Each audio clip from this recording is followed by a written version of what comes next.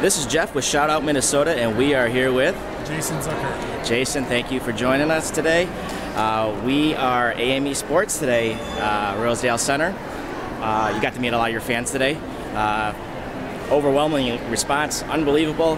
How was your experience with that? It was great. Uh, it's always nice to see the fans come out and, and be able to interact with them and um, have some fun. I mean, obviously they're um, they come to our games and support us all the time, so it's uh, you know it's, it's a lot of fun to come out and, and give them the support as well. Uh, you've been a, a, real big impact uh, with Minnesota Wild since you've been here, uh, coming up in 2012. Um, you were in the World Junior Championships too, uh, as well. Uh, even what a year before that.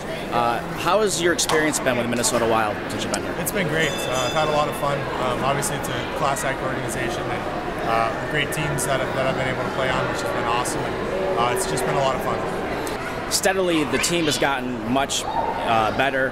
Who do you look to uh, for um, uh, veteran leadership? Uh, I think we have a ton of veteran leadership in our room. Right? Zach and Mikko and Suits.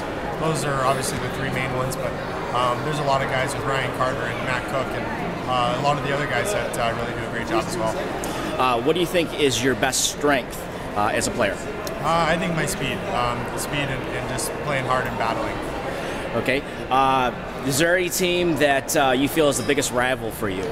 Um, I would say probably Chicago and uh, maybe Colorado now. Um, after last year, we had a, had a big playoff series against them. So um, I think probably those two teams right now. Uh, as far as playoffs go, uh, Wild hit the playoffs last year. Uh, it was an exciting time for uh, for the fans.